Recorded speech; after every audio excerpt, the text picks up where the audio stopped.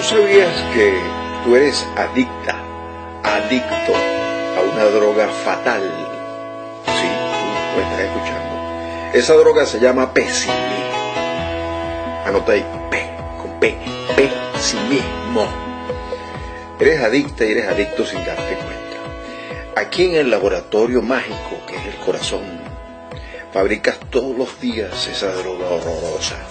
La materia prima, por supuesto, está en la calle los consejos de esos amigos y amigas pesimistas, la radio con sus noticias pesimistas, la televisión ni hablar, el celular, el Twitter, todo con noticias pesimistas, esa es la materia prima, para que tú entonces en tu laboratorio de corazón fabriques en vez de amor y felicidad, fabricas pesimismo, fabricas pesimismo en vez de optimismo, no te das cuenta.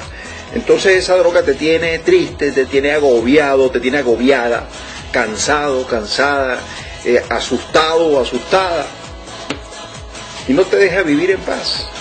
Yo te invito a que cambies de droga, que busques la mejor materia prima que nos ha dado Papá Dios y que está a la mano gratis. El sol, las estrellas, los pajaritos, las nubes, los buenos amigos, las buenas amigas, las buenas conversaciones, las buenas películas, los buenos programas de radio, los optimistas.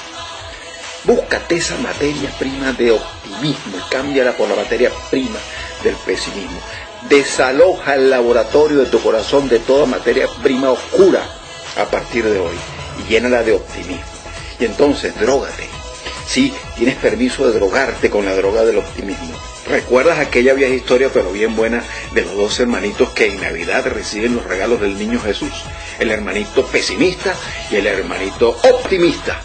El pesimista recibe el regalo del niño Jesús una bicicleta y cuando la abre, cuando abre el regalo y ve que es una bicicleta, dice, ah caramba, papá, con esta bicicleta me voy a meter un golpe, voy a tener un accidente o quizás pueda perder hasta la cara del golpe. Y el optimista recibe una cajita de este tamaño y cuando la abre es un sendo pupú de caballo de este tamaño. Y entonces lo ve y dice, papá, ¿y dónde está el caballo? Vamos a fabricar aquí en el corazón de todos los venezolanos la droga del optimismo, sí, el optimismo, pero no solamente para el consumo propio, sino para traficar con esa droga mágica, para contagiar a todos los venezolanos con esa poderosa droga nueva, que es el optimismo. Dios nos bendice.